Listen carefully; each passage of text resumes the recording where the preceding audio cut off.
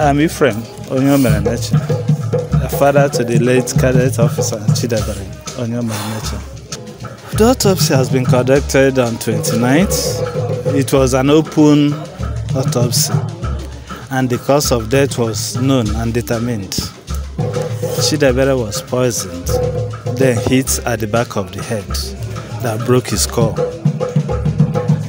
Blood entered his brain and he and he left. The state should be responsible. But I ask for justice. The police, the roles they have been playing has not been the best. They should play better roles. We we protested to the government house, we protested to the House of Assembly, we protested at Damgrete. House of Assembly has abandoned the role. The state pretended to see no evil, had no evil, and are doing no good. For Damgrete, let the death of uh, people discontinue from that hotel. Chidiebere is gone, all right, but at the same time, let it not continue. It looks like on the average of every four months or thereabouts, one person dies in that hotel. Less than that. I don't know. Whatever he's doing that causes those deaths, let it stop. I'll ask God, for example, to fight for me. But for Chidiebere, let him not rest until justice is done. It's only justice I want, nothing else.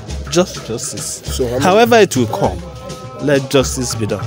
Um, his mates have graduated last month.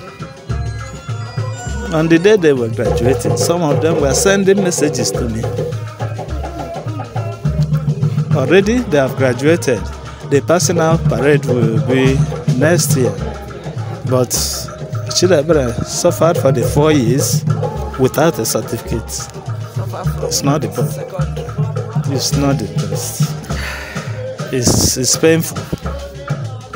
From the days of Jonathan, the Boko Harams, nothing happened. We survived it, all the stoppings and all the bullets. Only for him to be in the house. Somebody came, climbed three-story building, convinced him, not knowing that already the killers are waiting for him in the hotel. It was not good. It was not a good commentary. It's not good. But what can we do? There's nothing I can do, and he will resurrect. But let those who did that be fished out and punished accordingly. That is only my